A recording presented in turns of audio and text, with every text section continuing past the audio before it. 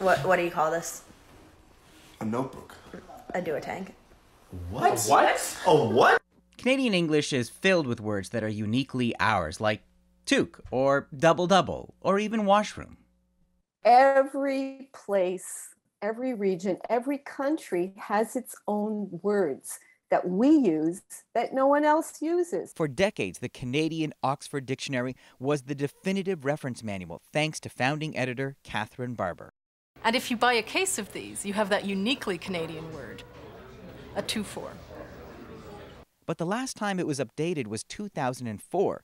With the Canadian staff laid off soon after, the work of finding new words is now the job of Oxford English Dictionary staff in the UK and US. I definitely think it um, puts Canadian English at a disadvantage, or at the very least, it, it doesn't give it the same kind of visibility and representation as you see for other varieties. But as a Canada Research Chair, Sali Tagliamonte has taken it upon herself to submit new words for consideration to Oxford.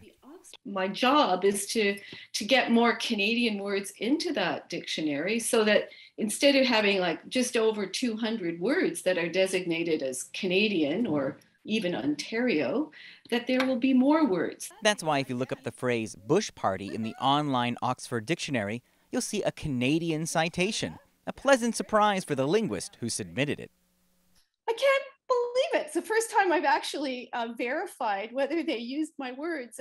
While some publishers and editors organizations are discussing creating a new Canadian dictionary, Tagliamonte wants more Canadians to appreciate their distinct differences.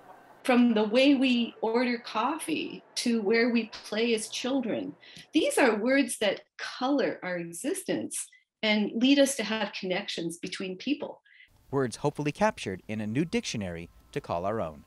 Eli Glasner, CBC News, Toronto.